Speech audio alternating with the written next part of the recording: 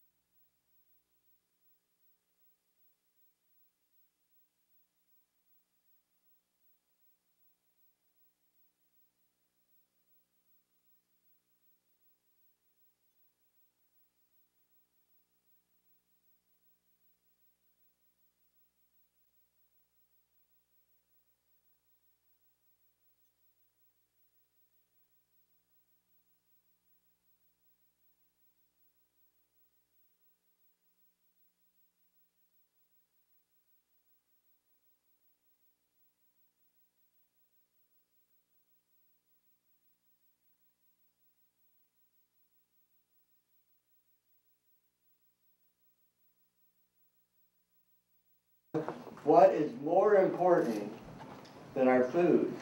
I don't care who you are, how rich you are, how poor you are, how young you are, how old you are, you're going to have to eat. And this, so this affects every single human being on the planet. I'd like to uh, take a moment to address the guests in our audience. First of all, thank you all for coming. Citizens are a welcome and valuable part of the political process. I only wish every hearing drew this much interest. Uh, the purpose of this hearing is to examine FDA's role in regulating genetically modified. to know that there was that many people for this was really cool, but to not be able to get into the rally because of paid line standers just there to stand in line, they didn't even know what they were standing in line for. They were just there paid. That was really a dis- disappointment.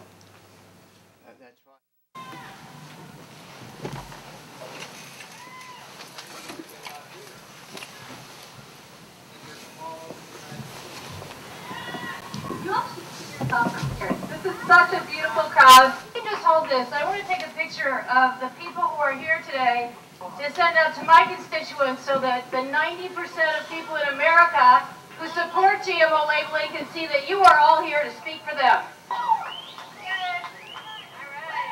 Legislation is founded on the proposition that the individual is sovereign. The government is their servant.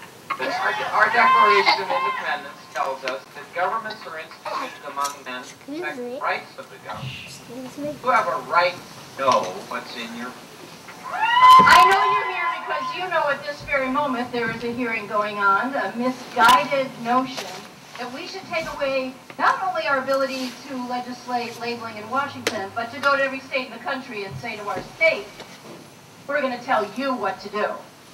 people have a right to choose truly organic food.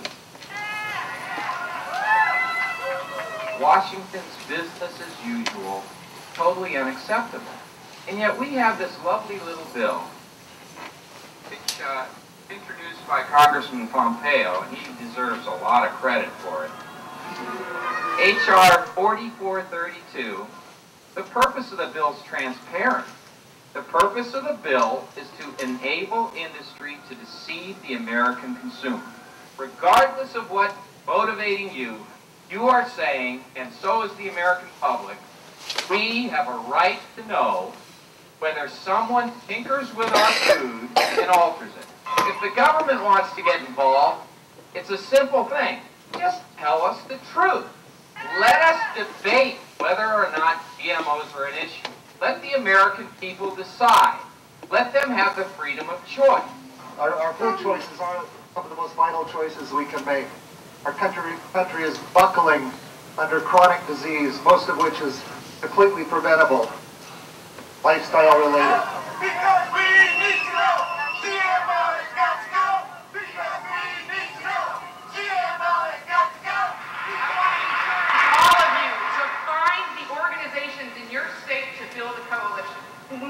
numbers, they might have money, we have numbers. We have the people. The biosector industry is scared, the GMA is scared, they're scared of you, they're scared of me, and they have every right to be. stay strong on this and so keep pressing your legislators. And if you have an initiative in your state, work on it. I'm here to join you in this fight. Thank you so much for coming here today. Thank you so much for making your voices heard, and I know all of you are going to continue to make your voices heard until we can say we've won in every state across the country, and we've won right here in Washington. Thank you very, very much. Thank you. things to know is that the Dark Act uh, violates our constitutional rights. The Tenth Amendment is, is written to prevent the federal government from overruling the state.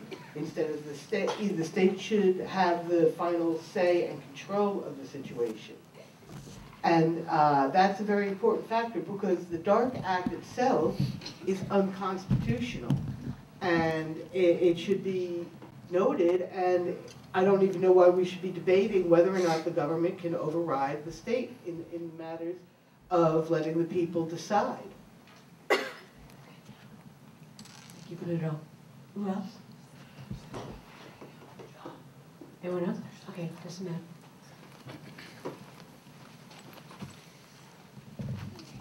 Coming.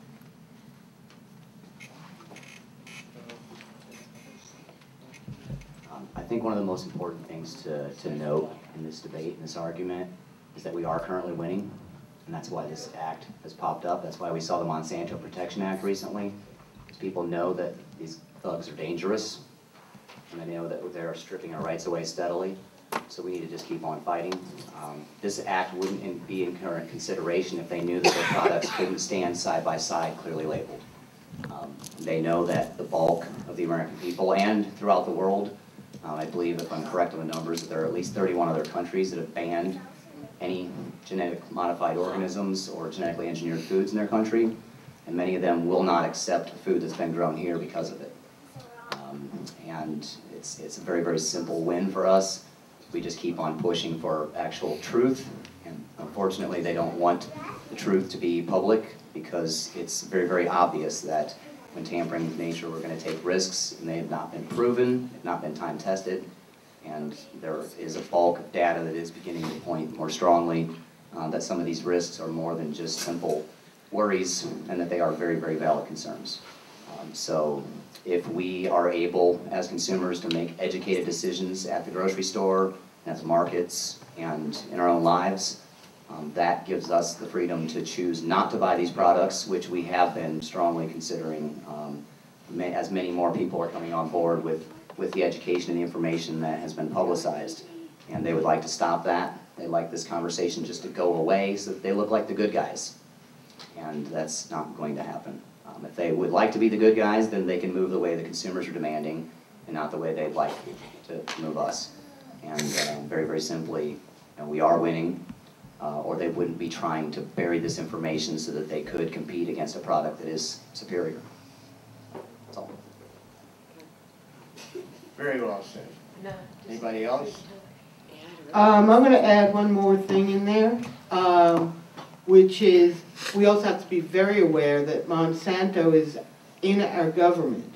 The head of the FDA was a former attorney for Monsanto, so there is such a high conflict of interest going on in our government. There's many employees of Monsanto who are now employees of this government.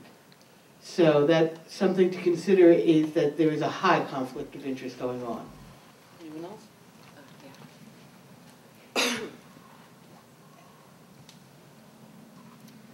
Um, so when I first hopped on the bus, I was all about the right to know. That's what was most important to me. Now that I've gotten back and I've done a lot of research, uh, the GMOs are really scary and they've only been around for 20 years. So we don't really know what's going to happen long term. And the studies that I've seen with the rats and stuff are, are you can look them up online really easily and it's really scary what's happening to them. So I, I just think that it's really important what we're fighting for too. You know, the reason, I mean, yes, the, the right to know, but GMOs, I'm not saying that they're bad because I'm just saying that I, I want to know and we don't know yet. And I, and I want to know if it's in my food, so. Michelle.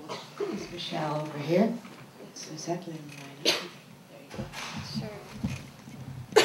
Right now, there are 64 other countries in the world that have either banned or have required labeling of GMOs. And Monsanto and all of these other groups that have con conflict of interest and have control of our food have done things in these other countries to be able to still market their food to these people. And I just don't understand why we can't do that here. Um, of course, what we're getting is we're getting the cheap food, we're getting the, the food that makes them the most money, we're not getting the healthy food. So it's just really important for us to understand these things. Um, also, the rat studies that, that Sarah was talking about, I've seen these as well. Um, most of the studies that have been done on GMOs have been done by Monsanto or by these chemical companies. And um, they usually only last about three months. Well, a rat's life cycle is two years, and if you only test it for three months, then you're not actually finding out what's happening to them long term. Um, there was a study done in France where they did the actual two-year study on these rats to find out what was happening, and they found that there was extensive liver, kidney, and breast cancer damage, and also pituitary gland damage done um, in very alarming rates in these rats. And the tumors that they showed on the, the breasts of these animals were huge. They were about a quarter of the size of the actual animal. They were humongous. Now, if you take that and you compare that to a human's life cycle, if we live on average 80 years, that means that that and and this these things started happening at about year one on these rats.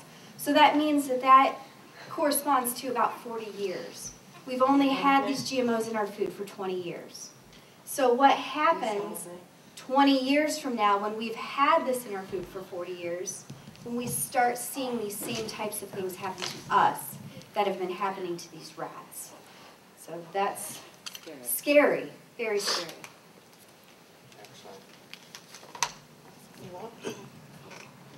I only have a few words. I went to the uh, march in Washington DC, enjoyed it.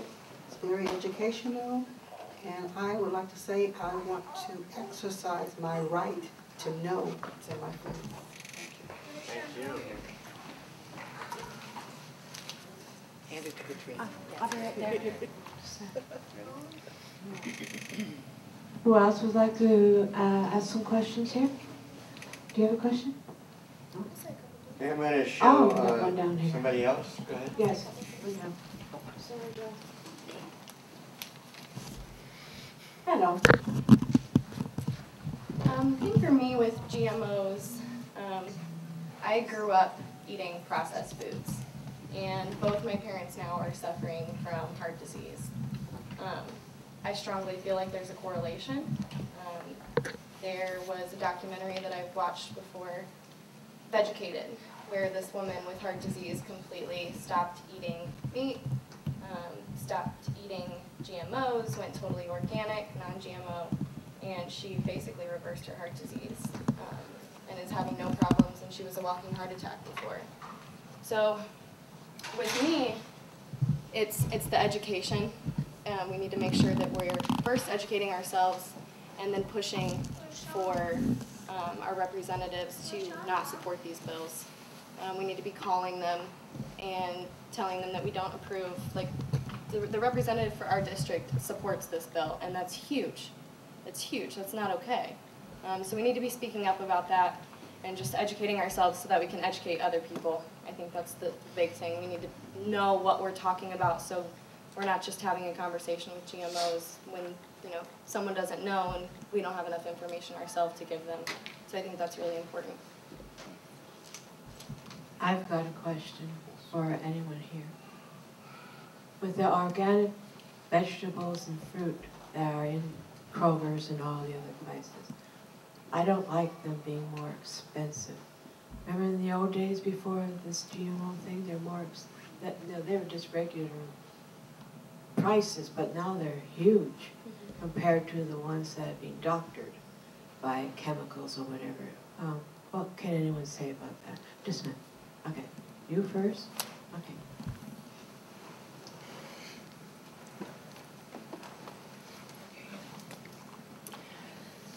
Um, I know that organic foods right now are the only ones that do, that we know for sure don't have GMOs in them.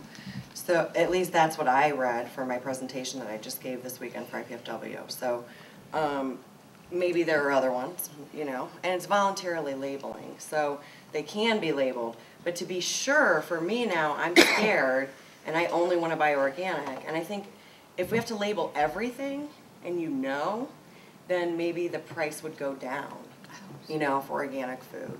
Just a little, maybe not a lot, but I think that it would be a big possibility, don't you? If everything was labeled. There's uh, one, one quick thing, that labeling is not always accurate either. There's a lot of foods that are labeled organic, fresh, natural, that aren't necessarily. Right, I was gonna hit on that point. Okay. And just because they're labeled organic does not mean they're not GMOs. Organic is a label about how they're grown. GMOs are what they're growing. So organic doesn't guarantee you that it's going to be non-GMO. Plus, they're very loose and free with terms like natural and organic, and, and these terms that they put on stuff, well, everything on earth is natural, so they could sell you plastic to eat and put natural on it, and they're not lying, because there's no real definition or lines being drawn. And it actually is a selling point, because they- they're tricking you into thinking something's more nutritious because they put a picture of like a farm on it and the word natural on it, and you're thinking, well, that must be more nutritious and better for us, when actually that's all they've done to it. I agree. So um, don't be fooled that something labeled organic is also non-GMO. They're two different issues. And unfortunately, you know, um, they have, they end up labeling organic when they should be labeling the things that they've done to it. Because to be organic and non-GMO, they have done nothing to it. But to make a GMO or to make something, you know, laced with chemical sprays, you know, from bug spray and stuff, they've done something to it, and that's where they should label it. They shouldn't make the assumption that it's, it's normal to have all these bad things done to it, and that's your normal food, and the organic food is the non-normal food. The normal food is the ones without, that are organic and non-GMO. That's the stuff that grew from the earth. The other stuff, someone did something to it. Wish more people knew that. You have a lot of people like me that don't. I have no one over here. I think when it comes to knowing if your food is really organic and non-GMO, there anymore is virtually no way unless you grow it yourself. Um, large corporations are more than ever monopolizing and buying out organic um, corporations and businesses that make organic food. Um, and then if you, you know, if you don't know your farmer and you don't know that they've tested their soil and they're far enough away from a farm that has those GMOs or those herbicides and pesticides, if you, you know, you're not gonna know. It's gonna, it could possibly drain into the organic farm and then that soil's contaminated and those products are contaminated. So unless you're growing it yourself and you're getting to know your farmer, you're buying locally, there is no way to know. And it's unfortunate, but it's the truth. That's heavy. Over here, dear.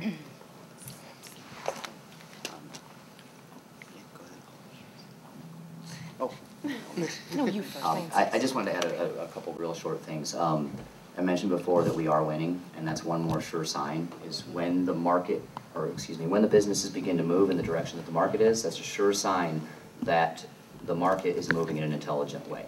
Um, if, if more of these companies are buying up uh, what would be termed organic producers or natural producers, then we know that the bulk of their customers are moving in that direction, or at least making themselves clear that that's what they wish to be able to purchase, and uh, businesses go where the money is. That's, that's what they're here for. So if we keep on pushing, um, I heard ethical consumerism mentioned, I'm gonna add a word in there. Um, if we continue to push educated, informed decision-making and ethical consumerism, then we can have ethical businesses. Uh, They don't mind doing the right thing if it makes them money. But they have to make money or they're not gonna be there. And so we just need to continue to encourage them in that direction. Um, I think one of the most important, uh, terms that we need to impress in this, in this stage, and it relates to, I'm sorry, I don't know your name. Patty. Patty, Patty's question uh, was why are organic or natural uh, products more expensive when we go to buy them? And uh, typically at the farmer's market, that's not the case.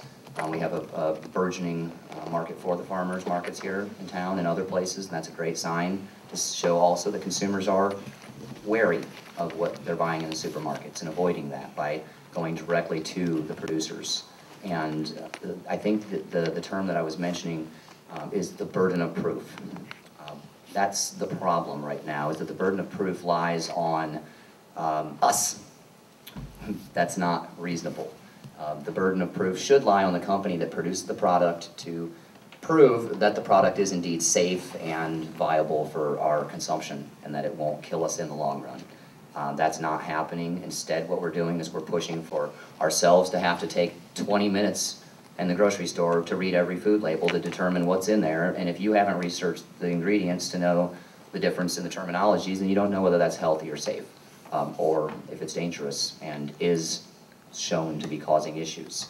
Um, If we are, or if we are forcing the healthiest, most provenly safe producers to bear that burden of proof, which in order to know that you're not, currently not buying a genetically modified food organism, then one of the great ways to look for is that little label that says non-GMO project.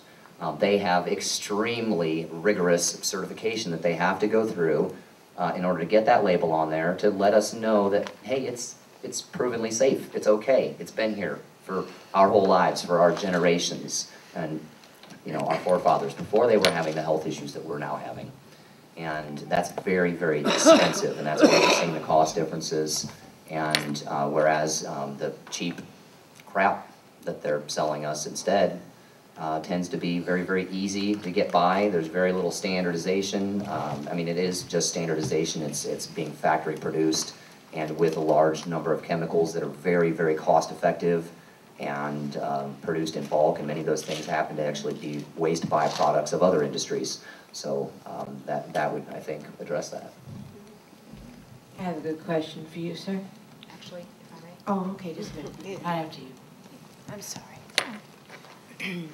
And I would also like to answer your question by pointing out that for a product to be labeled as organic, there is a huge amount of bureaucracy involved in obtaining that type of certification. The majority, if not over ninety percent of food subsidies and farm subsidies in this country go to mega corporate farms which are growing GMO crops. They require absolutely no labeling, no testing, no certification, and the only thing we have to vote with is our dollar. As Ken was saying, if we don't know what's in our food, we cannot appropriately vote for those things that we agree with, whether that's organic or GMO. Um, but the burden of proof is on the small farmer defending itself against these mega corporations. And the cost lies in that cost of certification, the cost of reclaiming the soil, because in a lot of cases, the soil has been very badly depleted by the chemicals that were previously utilized. And then you also have the farm subsidies that are going to fund these large corporate farms that are growing things that are not necessarily healthful or approved or tested. And the only way to reclaim those costs is through the grocery store checkout line, and that's where the cost is, is magnified for the consumer. Okay. With all the vegetables and fruit and that, does that include the animals being eating the chemicals as well? Who wants to answer that? Anyone? I'll make a statement on that. Okay. I think Michelle Yeah. The animals, I, I- I'm, it's my understanding, eighty percent of the antibiotics in the United States are given to animals. And it's not all prophylactically. Uh, a three percent, you will get a three percent weight gain in uh, poultry just by giving them antibiotics. So this is the tough, this type of stuff we're seeing. If, I don't know if ever, anybody's ever seen a, a corporate livestock production or any type of animal farm. If you, if you do, if you really want to walk through there, bring a bucket to puke in. Oh. Because that's, I mean, just look at, look at the situation. Our food situation. When I was a kid, I was around farms. Farming's totally different. There's chemicals on everything. Yes, the animal production. Look at your chicken. Go buy a chicken at the store. Hold it up. Look at the amount of fat on it. Look at your milk. Look at what's look at the milk you're getting. And you ask about the animal production. I've been three corporate farms in Indiana. When I moved here, I moved up near Amish country. They hide them way back in the woods. The, the livestock productions, they feed all these animals. They can't hardly move. Everything is mucked in or, or drained into a sludge pit, which is just plain rotten. It goes into the river. That's why the ecology things, that's why we see runoffs. We notice the, the antibiotics in our river. Where, where do you think they're coming from? The same thing that, the, the food, the same food you're eating. So y'all answer that question. And I, I didn't get into the hearing, none of us did, but I did watch it. And I kept hearing the same thing over and over with the people. And the people at the hearing were saying, well, we want to do this and we need, we need to do this with our agriculture so we can produce more food per acreage so our poor people can eat. And you hear this, and if you listen to the hearing, I wonder how many of the same constituents that spoke there voted for the Farm Bill, which got food stamps. It's just, you've got to stop this, and that's why we're here. And that's why I'm, I'm here. And you ask why we do these things. Well, Frederick Douglass said, the power concedes nothing without demand. And Monsanto and Big Corp, big eggs, big money, and big demand. I want to be part of that demand. Thank you. Well, well done, Bill. Well done. Here's Michelle. Thank you. Um, with these big factory farms, there comes a lot of problems. Um, number one is how do you feed all of these animals that are locked up in these buildings? They have evolved to eat grass. So they take these, the cheap corn, because corn has subsidies in the United States, so they take this cheap corn and they feed the corn to these animals. But these animals did not evolve to eat corn. So it's causing all kinds of problems, and that's why they have all of these antibiotics that they feed to the cows to keep them healthy because they're not getting the diet that they're supposed to be getting. So it is really important also to look at the labels and make sure that you're eating grass-fed beef. Of course, now that means that we have to pay a lot more for our meat. So it's it's all about choices and how much we can actually do. It's about how much money we are able to put toward our food and a lot of times it's very difficult for us because the grocery prices keep going up and up and the amount of money that we have as the American people keeps going down and down. Mm-hmm. So it, it is a really huge problem. What do we do? I mean, I've, my daughter, my 12 year old daughter, has seen, she loves cows, it's her favorite animal, and she's seen the videos where they have to put the holes in the side of the cow's abdomen and put their hands down into the abdomen and take out these byproducts of the of the corn that these animals are eating that they can't digest. So they have to take it out. And these cows live with holes in their sides. I mean it's it's ridiculous some of the things that you see. It's ridiculous. And we've also done um, some studies on organic milk. And organic milk is really expensive but we've seen that organic milk has enzymes and it has proteins that the regular milk does not have. So we're actually losing nutrition because of the practices of these big farms. And in order for us to actually get the nutrition that we are meant to have in our food, we have to go back to these responsible farming practices. Um, I'm just going to add a quick little thing about, you know, the good food is more expensive, but healthcare is very expensive. So you have to make choices. Do you want to eat good food and remain healthy, or do you want to have to pay a lot more for health care? These are really some hard choices that we have to make because a lot of people don't have a lot of money anymore because there, there's such a wage gap going on in the United States at this time. And this is just feeds into this whole thing is that they're claiming this helps feed the poor. It doesn't help feed the poor. Most of the product grown in the United States is to be fed to livestock.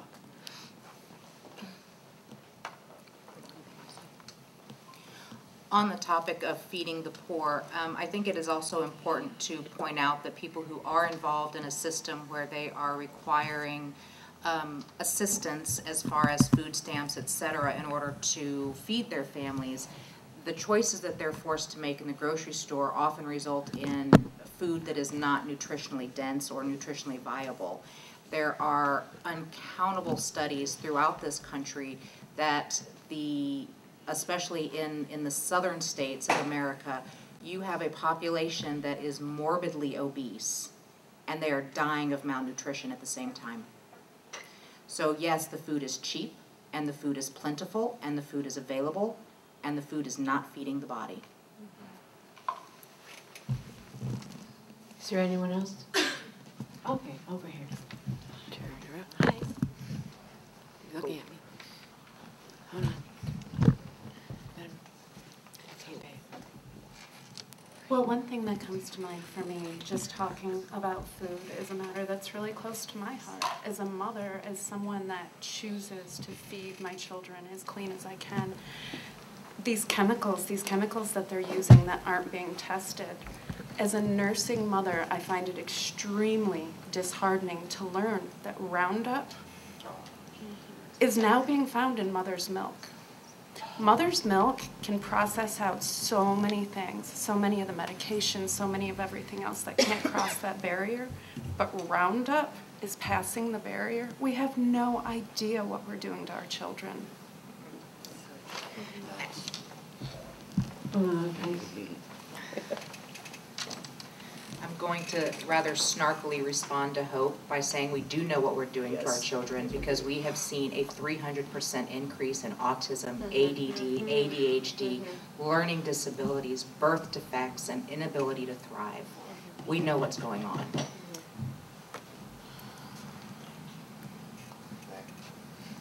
Who wants to ask? Oh, okay. You're with you.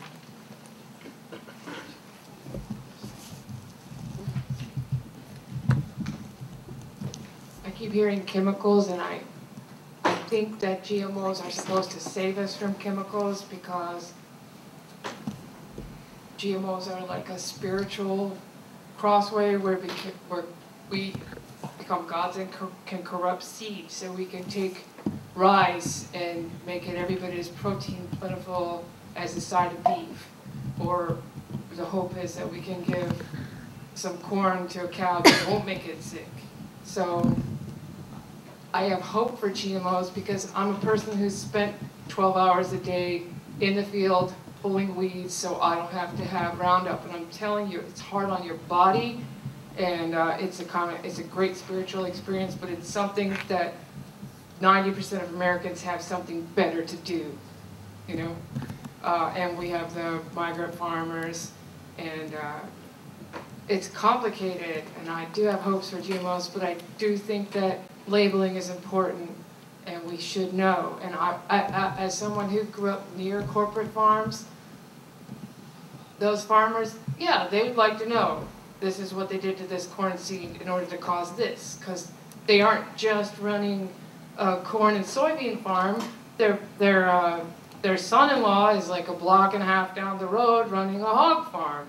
So, you know, they, they care, and they're people too, and um, we gotta work together, and there's, there's people who can benefit from GMOs, I hope. 'cause There's a lot of us. Ms. Smith?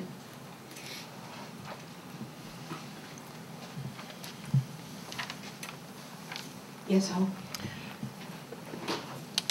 Well, kind of related to what I was saying before about the children and also what we heard over here about um, buying seats. These companies, they buy companies, they buy the rights, they buy everything.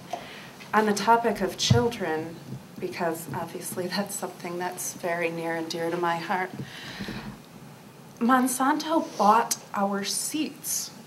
Our they were our seats. We traveled from all over the country to have our seats in the political process, to be seen, to look at my 12 year old and tell her, no, we don't get to go in.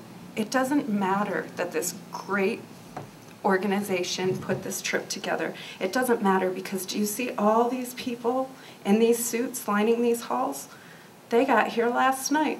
They got here last night because they got a paycheck from a company to buy your seat in that congressional hearing. That's wrong. I hear you. I hear everybody. Uh, Michelle?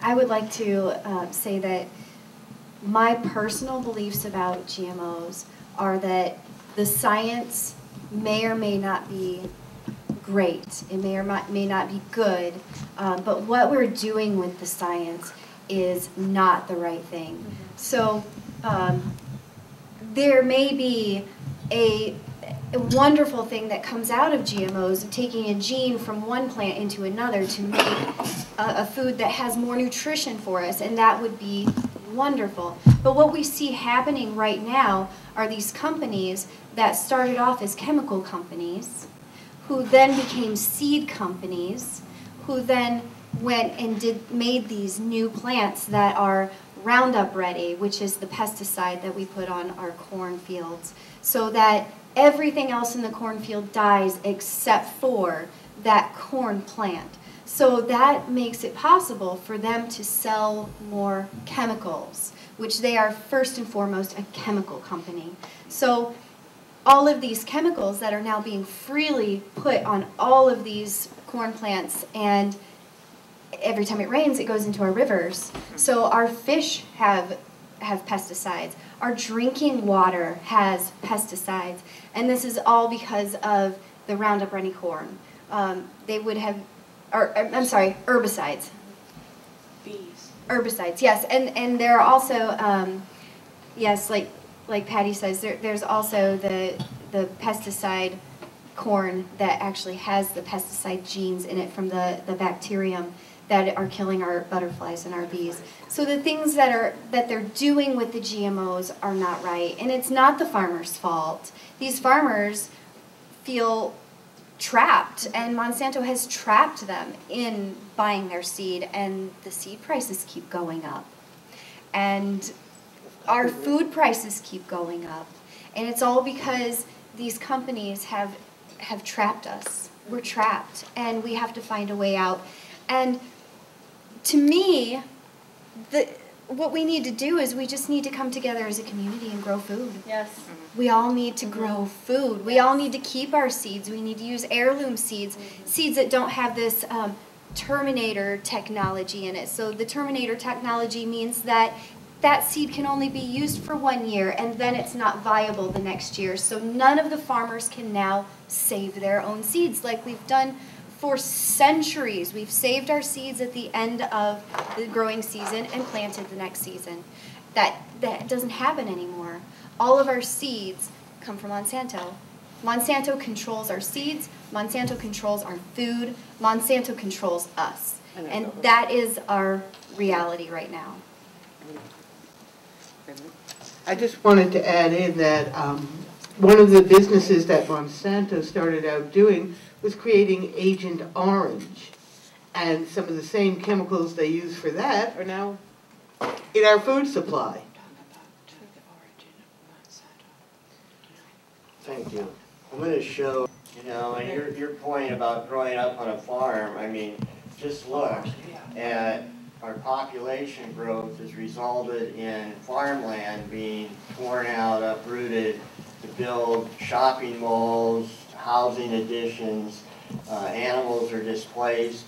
But if you've got less area to grow food and more people to feed, this is what we're getting.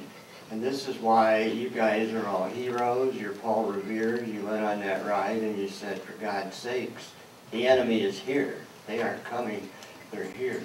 This is about the best discussion I think I've ever heard. You all are fantastic. Uh, you want to say, go ahead, Sarah, say, uh, and then I'm going to show this clip. Yeah, yeah, go ahead. Make sure the mic is on. It is on. I just wanted to, uh,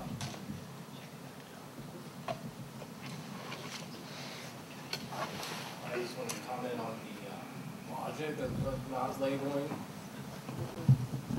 Can you hear me? No. Can you hear me? Can you hear me? Dead battery. Um, basically, um, agribusiness is saying that, that they're not required to label because, um, their product is not, uh, different, you know, by any significant means, um, to traditional and conventional, uh, produce. However, in order to get a patent, they have to prove that it is indeed, um, significantly different. I just wanted to point that out. Thank you, sir. And we have one more question for now, until this battery runs out. All right, uh, go ahead. I actually wanted to comment on what Hope said, um, because it was me and her that, that stayed whenever we, everybody went out to protest and, and, uh, and it was just, like, I just teared up because, you know, the police officer told us, we said, we wanna know what's going on, you know? So we went up and we started asking people if they knew why they were there, and they didn't know why they were there. And, and it was so hard for me to believe because you guys have all been doing this for a long time and I'm new. I just, you know, I, I'm just learning about this stuff and, you know, I only know what I'm researching and what I read, you know. And to learn that that was true was just, it was so sad. And then later, when I had talked to one of the speakers at the church, he said that he had asked and he found out that it was through a temp agency. I don't know how they can do do that. Sorry, I get so upset when I'm talking about it. Um, but 40 bucks a piece is what they paid these kids. 40 bucks. So, you know, and none of us got to watch it, and it just makes me sad, you know. But I just wanted to bring up that point that we know for a fact, for a fact, that they were paid $40 from a temp agency to take our seats. And if there's, I mean, if it's such a good thing, what's the big deal in labeling it, you know? We just have the right to know, and that's what the bottom line is, I think. Okay, we'll see, First of all, thank you all for coming. We think engaged citizens are a welcome and valuable part of the political process. I only wish every hearing drew this much interest. Uh, The purpose of this hearing is to examine FDA's role in regulating genetically modified food ingredients. And it is an opportunity for this committee to ask questions and have a thoughtful discussion on this issue. The number of people in this audience and in the hallway uh, this morning demonstrates the strong interest in this topic, and we welcome that interest and your attendance here today. I do want to remind our guest that the chair is obligated under the rules of the House and rules of committee to maintain order, preserve decorum, decorum in the uh, committee room, and I know that we all may not agree on this topic, but I ask that we all abide by these rules and be respectful of our audience members, our viewers, and our witnesses. And uh, the chair appreciates uh, the audience's cooperation in maintaining order as we have a full discussion on this important issue this morning. The chair will now recognize himself for an opening statement. The genetically modified organisms, or GMOs, is a term that refers to ingredients sourced from crops that have been genetically engineered to express certain traits or characteristics. A number of people have an instinctive distrust of food that has been genetically modified and are asking questions about its safety. Others see great promise for better nutrition and the alleviation of hunger around the world. There are real sensitivities around this issue and all issues regarding the food we eat and feed our children and our grandchildren. It is our job as policymakers, particularly as it relates to the public health, to establish a factually and scientifically sound foundation prior to taking any action that would impact consumers and our economy. And this hearing provides a great opportunity to put rhetoric aside and do just that. GMOs have been a part of the U.S. food supply since the mid-1990s. In fact, as much as 90% of our corn, sugar beet, and soybean crops are now genetically engineered, and about 70% of processed foods contain such ingredients. The U.S. Food and Drug Administration oversees the safety and labeling of all food products from plant sources, including those from genetically engineered crops. These products must meet the same safety requirements as foods from traditionally bred crops.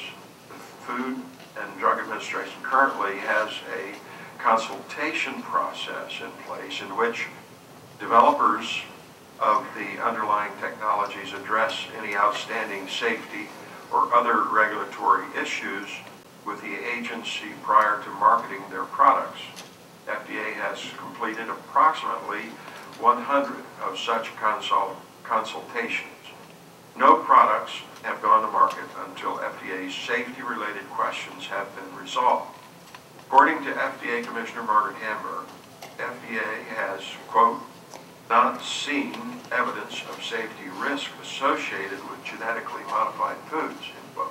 Further, FDA has no basis for concluding that bioengineered foods are different from other foods in any meaningful way, and the World Health Organization has stated that, quote, no effects on human health have been shown as a result of consumption of such foods, end quote.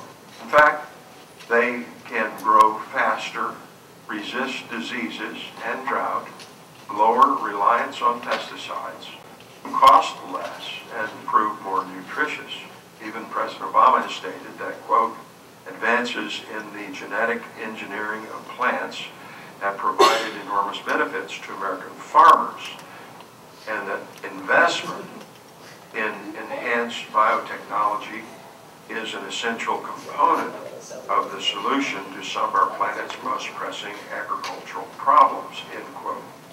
Nonetheless, there have recently been a number of state initiatives calling for the mandatory labeling of food products that contain GMOs. And we will hear today from a number of witnesses who can speak to such actions and the impact they would have. Food labeling is a matter of interstate commerce and is therefore clearly a federal issue right, rightfully resides with Congress and the FDA. I am concerned that a patchwork of 50 separate state labeling schemes would be impractical and unworkable. Such a system would create confusion among consumers and result in higher prices and fewer options. Finally, I want to commend Representative Mike Pompeo and Representative Butterfield for their leadership on these issues. I look forward to learning more about H.R. 4432, the Safe and Accurate Food Labeling Act of 2014, and I would seek unanimous consent of the committee that Mr. Pompeo, who's on the full committee but not not on the health subcommittee, be able to sit with us today in this hearing. Without objections ordered, I'd like to welcome Well, that gives you an idea what that hearing is about.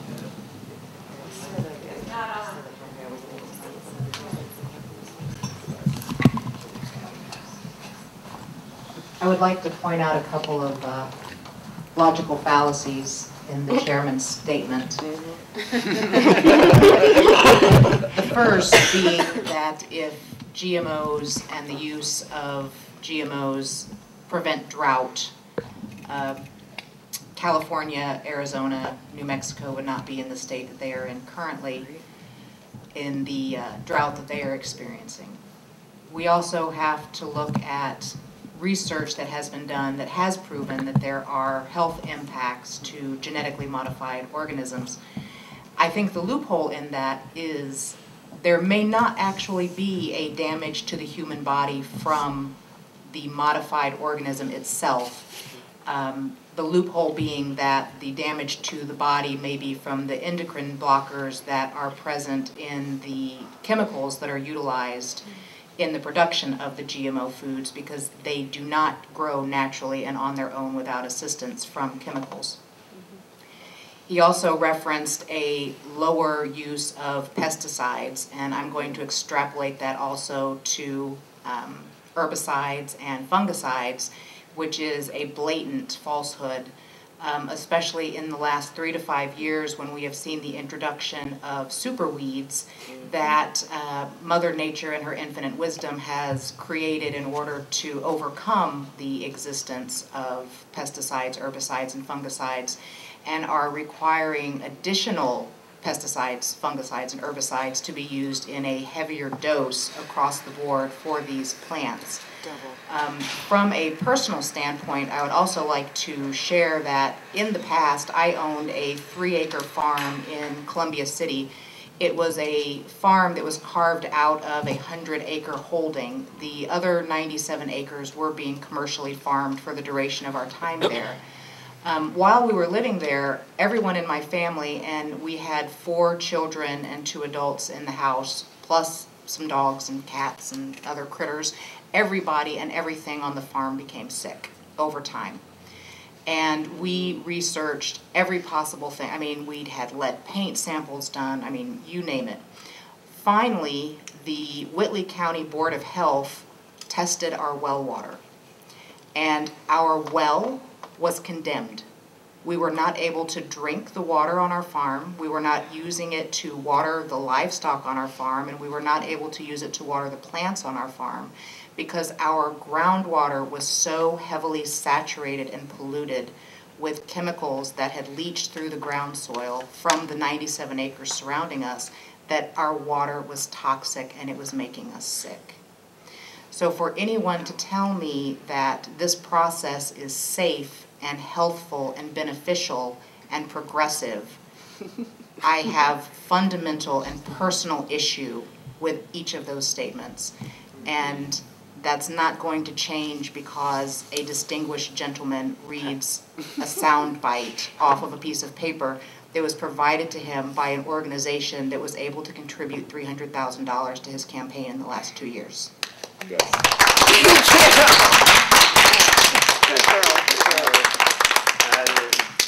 Fabulous, thank you. I just want to uh, say one thing, and then I'd like to get one of the children that went to uh, comment. But uh, in a column I wrote, I, I wrote uh, that about, he mentioned Hamburg, the commissioner of the Federal Food and Drug Association.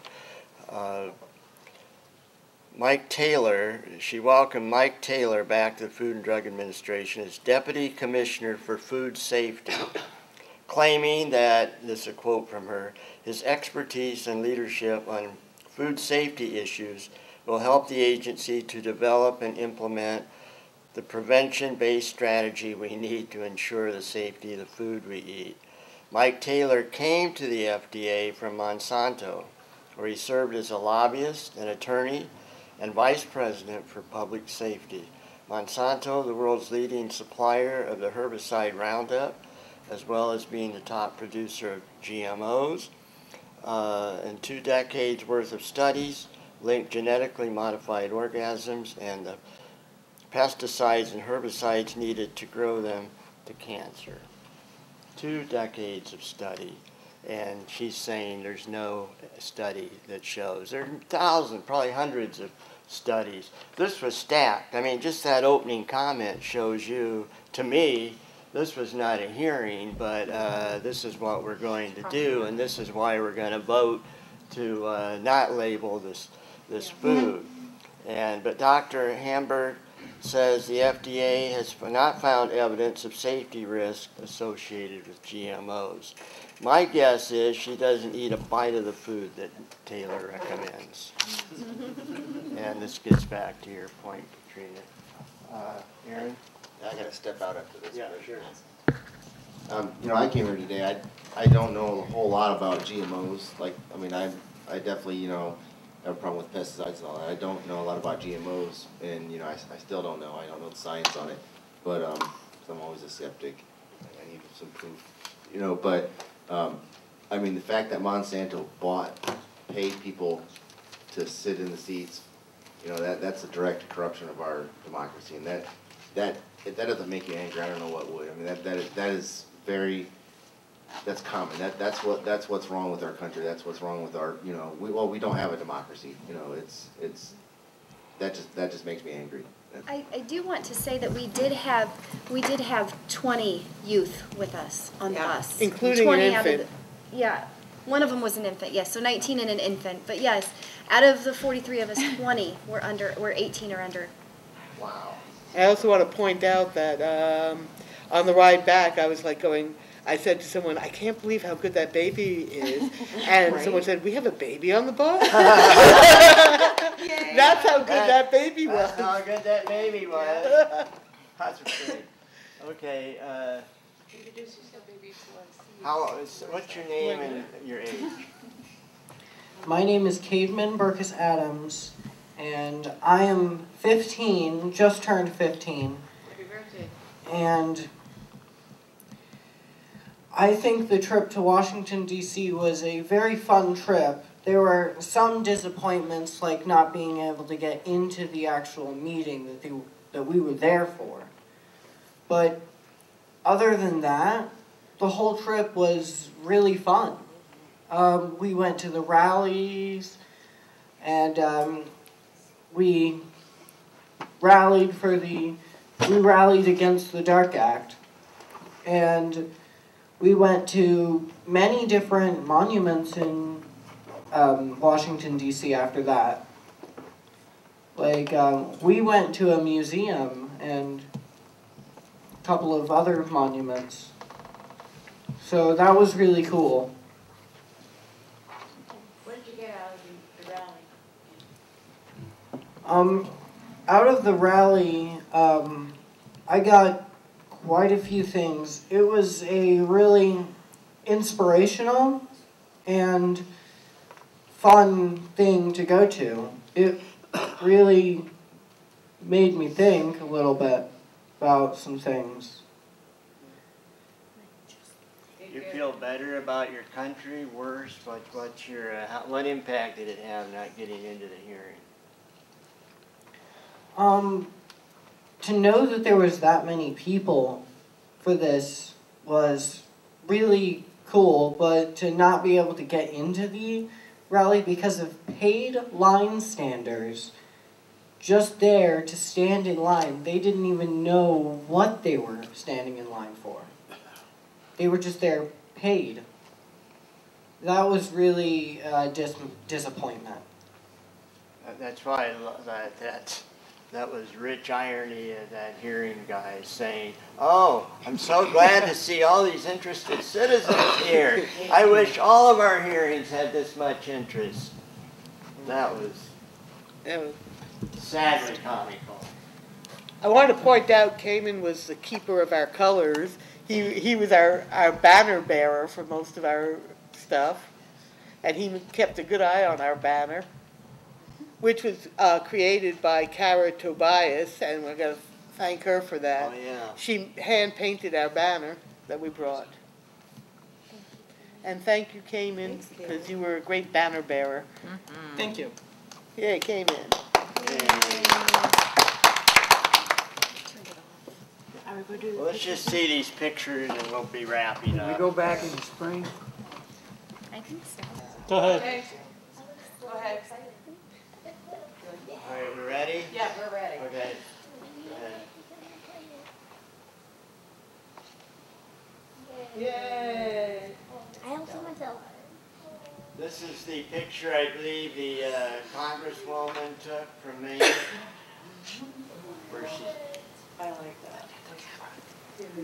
See, recognize that guy right in the front with the camera in his I like it when the cameras point. The guy in the hat in the back of it. The, the Congress thing, I love that picture. What we do a hunger strike.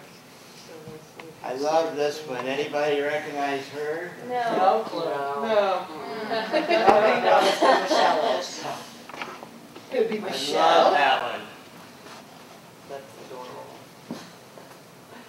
This was uh, people trying to get into the hearing that morning, December 10th, wondering what the H was going on, why we couldn't get in. I hope those are actual protesters, dissenters. Only the back. Only the back Only the The very back back. part is, uh, the, the protest. See all that black? They're all wearing black. They were all wearing like, you know. And what this picture doesn't show is that there's another hallway going the other direction. What this picture doesn't show, I think this is on. Is this on? It's not. I think it That's all right, that's all right.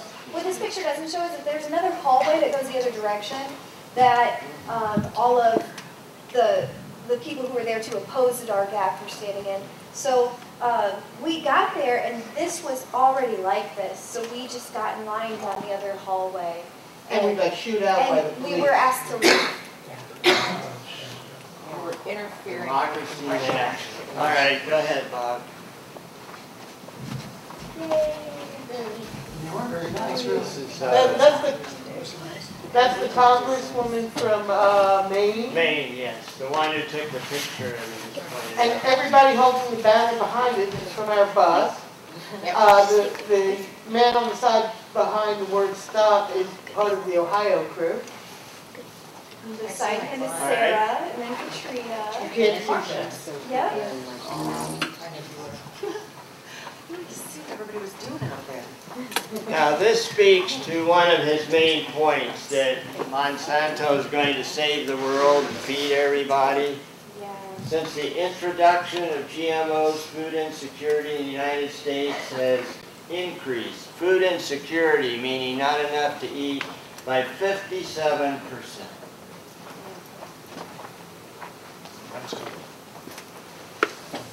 That is last one. All right, turn the lights back on. Monsanto's advertising a lot on Nick, which is a kids TV channel. And they're, they're really kind of trying to show, oh, we're just a family, wholesome, this wonderful thing. It's not, no, you're kind of an evil corporation.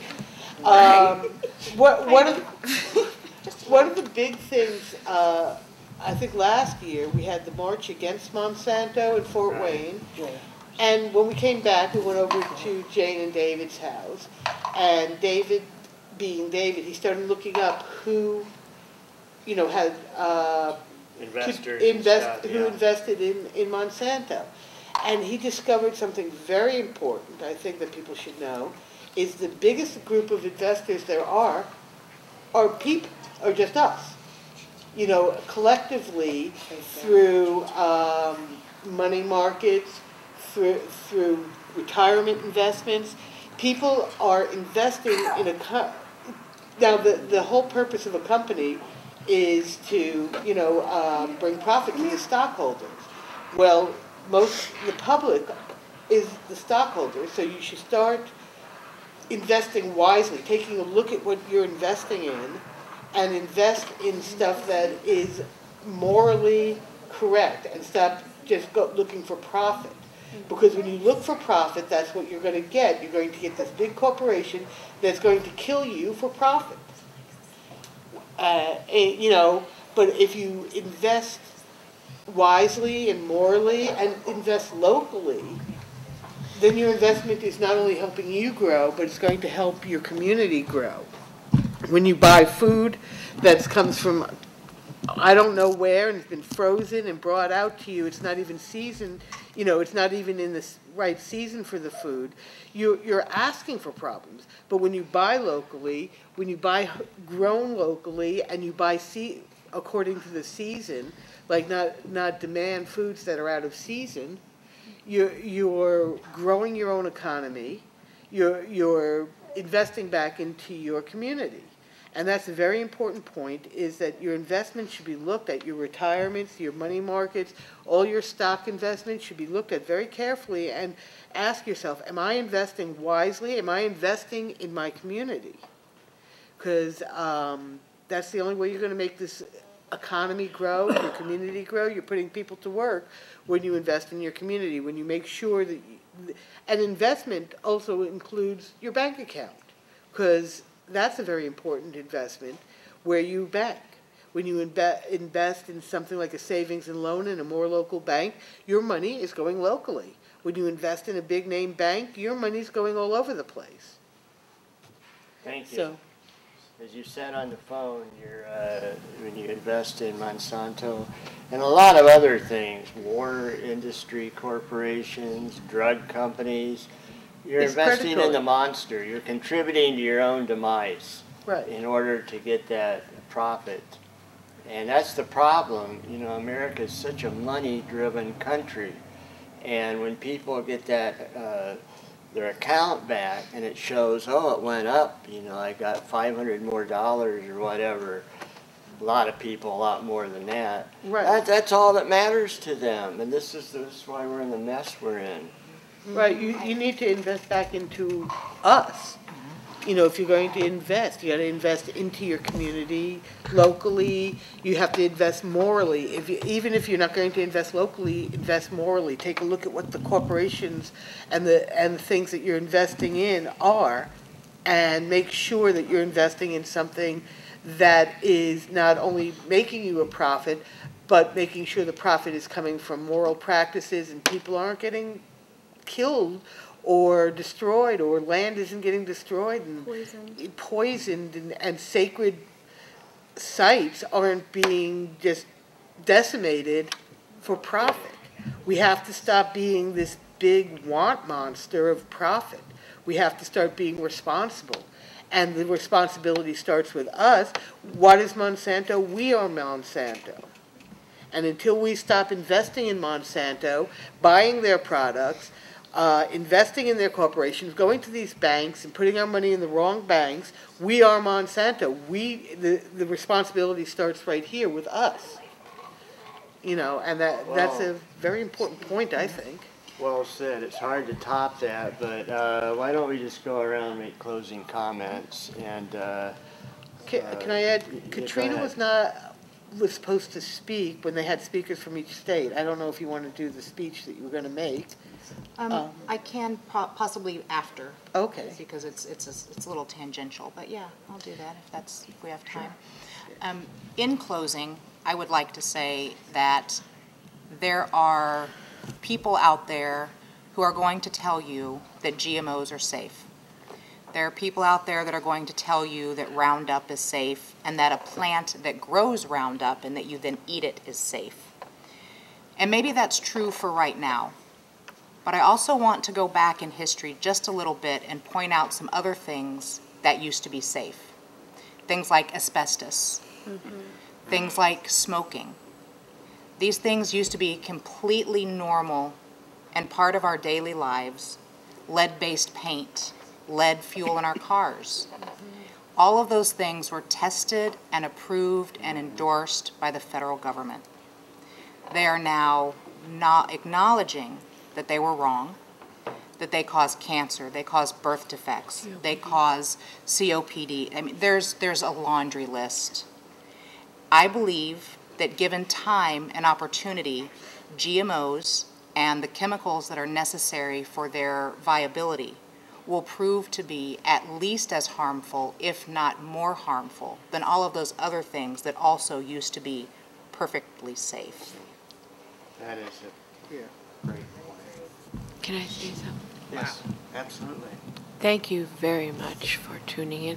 Um, I was going to say, with all the medicines that people are now suing the companies, uh, saying that it's done damage to the body or mind, the basic uh, medicines are now, the lawyers in Indiana are suing the companies that have caused all the bias, you know, the, you know, whatever happens to the body. Well, in some cases, they don't even allow you to file lawsuits. That's how bad it is. that they can poison you and then you can't complain about it. You cannot uh, uh, sue them. That's like, um, along with the Dark Act, there's stuff going through, they're trying to sneak in laws like, uh, what is it called, the Trans-Pacific Partnership, which takes away a lot of sovereignty from people. Yeah. And I think Monsanto has a hand in this one too, which means, you know, you can't go back and sue, you can't go through your com- country, once some, your land is destroyed and your resources are just absolutely decimated, you can't go through your country and sue the company. You have to go through a TPP sponsored jury or something, which is basically Monsanto policing Monsanto. Um, and investigate their. uh, yeah, murder, investigate yeah. themselves, and I'm sure, yeah, that, that really goes well. Plus, you, d- if TPP goes through, you don't have a choice whether or not you can have, you know, some countries have a choice right now. We don't want GMOs made in our country because, you know, it infects the other plants, it destroys the soil. But if TPP goes through, um, then you won't have that choice. You will lose the sovereignty of your nation to say, no, we refuse to have GMOs grown in our nation. It's a corptocracy. Yeah, it is. Um, what was it? Why don't you say it nice It's and a loud? corptocracy. Corptocracy. And And- money, since money. There's money, but the, the thing is, is it's all, it's infected every aspect of our government at this point. There's a revolving door between Monsanto employees and government employees. You know, um, they, they spend a little time working for Monsanto, then they go and work in the government, and they go back and spend some time working in Monsanto again. And they're passing laws and acts that benefit Monsanto. Our government is being bought by Monsanto. Our, our congressmen are being oh. heavily, you know, funded, campaign funded by these corporations. And you notice just recently, they increased the amount of money they can fund. Mm-hmm. So now the people have less of a say, and the personhood of a corporation is having more of a say. So actual, real people have less say than fake people corporations.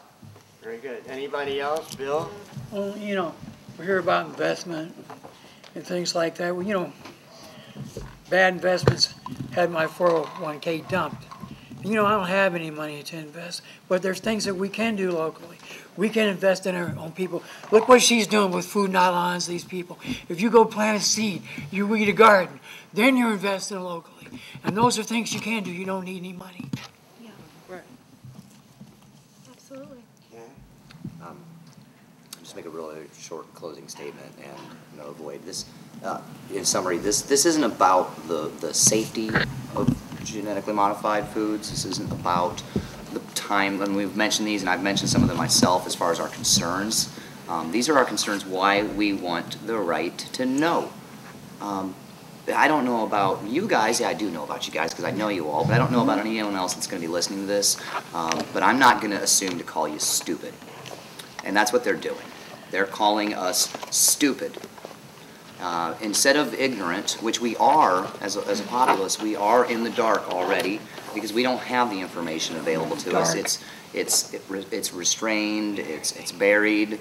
Um, it's taken off of main channels. In fact, the, the main primary debate in our country uh, tends to be about other things that are far more easy to understand because that's what they like to do is pretend to encourage us to be stupid.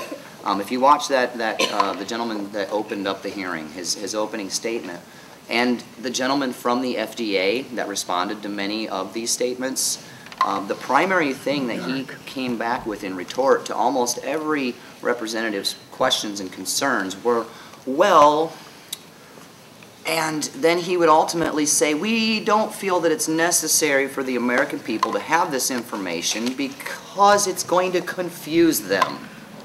That's us. It's not confusing at all.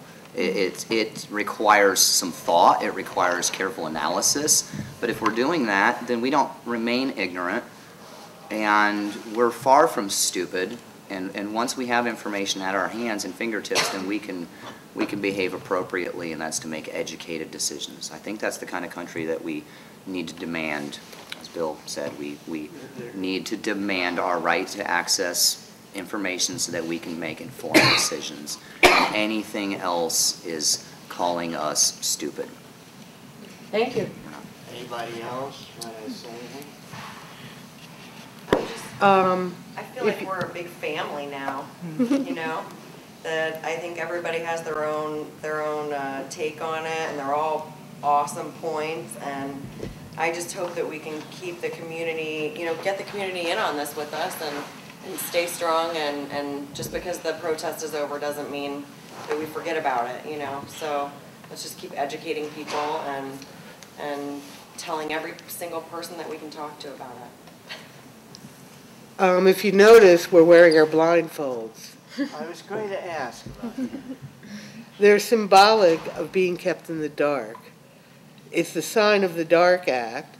Um, uh, we as American people are being kept in the dark about what's in our food, what's going on in our government, what's going on, and this is the symbol of us being kept in the dark and not being given access to knowledge or access to information by draconian type laws. Well, our our security was lax, we let people in without a blindfold. What was your blindfold? So Terry, you should have checked me at the door for my blindfold. she's symbolically wear, she's invisibly symbolically wearing her blindfold. We must get better security. I actually uh, symbolically am wearing mine around my neck because it's very easy to hang me with it. Oh my. Well, I Thank just, wa- I, you say anything, Patty? I just want to say thank you. You guys, uh, I, I do feel like there's a family atmosphere here. You are so aware, so intelligent, so able to uh, verbalize these concerns in plain English that people watching can understand. And as I said at the opening, it just comes down to, do you want to be healthy? You want to take a chance? Uh, I don't believe anything the government says because I think they're all bought by these corporations and they're all driven by money. And uh, I can't even begin to add to what you've said. It's just so good today. Thank you. Thank you for having us. Thank you very much.